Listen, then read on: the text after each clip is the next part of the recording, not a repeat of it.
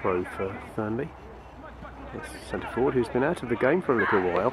Gets along the byline, gets it back to the number 10, deflection Ooh. over the bar.